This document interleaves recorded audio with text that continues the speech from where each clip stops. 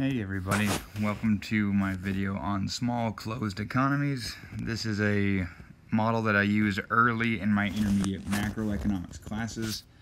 And in this model, uh, it's really simplified. Almost everything is treated as exogenous.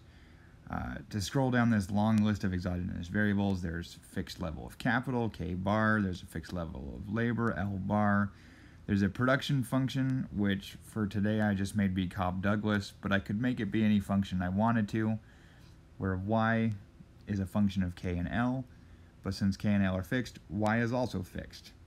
Government spending is fixed at g bar, taxes are fixed at t bar, there's an MPC that doesn't change, so consumption, we will make, I mean it's a function of unchanging MPC, unchanging y bar, and unchanging t bar, so C is also fixed at some C bar. And we can break up private savings, public savings, national savings, and they've all got their equations there too. The only endogenous variable in our model is R, and that is given by the investment function I of R. Now, this is a very straightforward model, although there's a lot of equations. Uh, pretty much everything is fixed in advance. And so solving it is very mechanical and very repetitive. Uh, so in this video, I'm going to show you how to solve an example of this model and to solve for the interest rate, and then show you what happens if I change something in this model. So let's get started. Let's assume we have 200 units of capital, 200 units of labor, and because of that, you plug that into our production function, 200 to the 1 half times 200 to the 1 half, is 200. We've got 200 units of output or income. Uh, government spends 100 bucks or whatever money. Taxes are also 100. So the government has a balanced budget, by the way, because taxes equals government spending. Our MPC is constant at 0.75, which means consumption is 0.75 times 200 minus 100. That's disposable income in those parentheses. Y bar minus T bar is how much income you have left over after taxes. So 0.75 times 100 is 75. Private savings then is income minus taxes minus consumption is 25. Public savings are taxes minus government spending is 0. National savings are income minus consumption minus government are 25. All right, so what did I do here?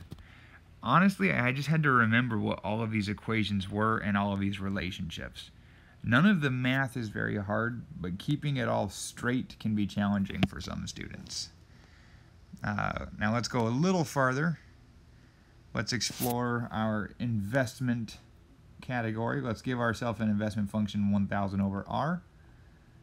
Yeah, let's draw a little loanable funds market, savings and investment on the horizontal axis, real interest rates on that axis, there's our investment function.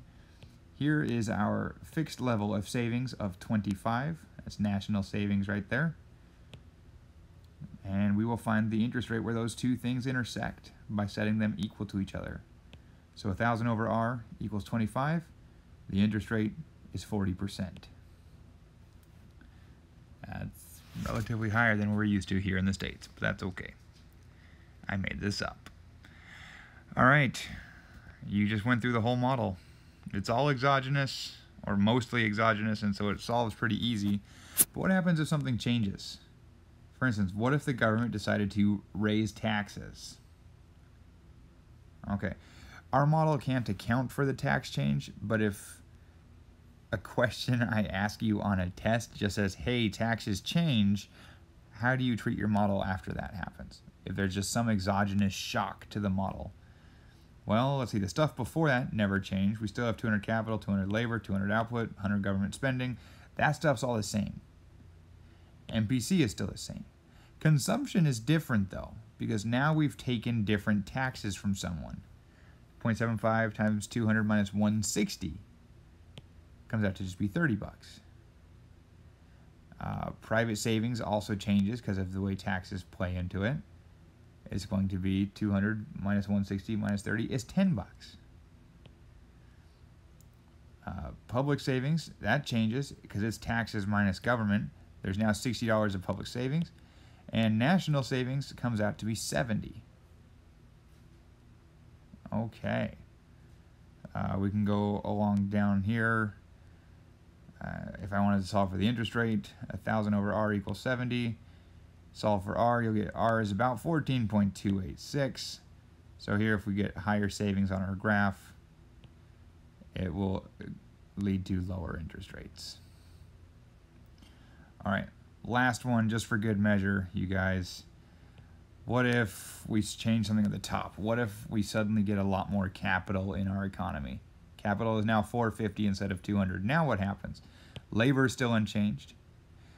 But oh man, our production function is going to change. Our income is now 400 to the one half time sorry 450 to the one half times 200 to the one half comes out to 300 so our income changes. So pretty much everything else that has income in it is going to have to change also. Government spending stays the same. Taxes stay the same. MPC stays the same. But consumption has more income so we put a 300 where the 200 is and you get 105 Savings is going to change also, private savings. Public savings won't change because the government hasn't changed its budget, but national savings will also change. Okay. Uh, let's see. And then our interest rate, let's see, 1,000 over R equals 95. R equals 10.5-ish. So I know this is brief I know I kind of skipped a lot of little algebra steps, but I really just wanted to show you that in these simple, small, closed economy models where everything's exogenous, solving it's always going to be the same few steps. You're always going to be trying to remember all of these relationships. And if you can, then just going through one at a time, working your way down the list is all you got to do. And then later, when your teacher messes with you and starts changing stuff, what do you do? You just work your way down the list again. But the steps are always the same. So it's a little intimidating when you first see it, but once you've practiced it a couple times, it's pretty repetitive and easy. So I don't know if that helps you guys, but I hope it does. But if not, too bad. Good luck, and thanks for watching.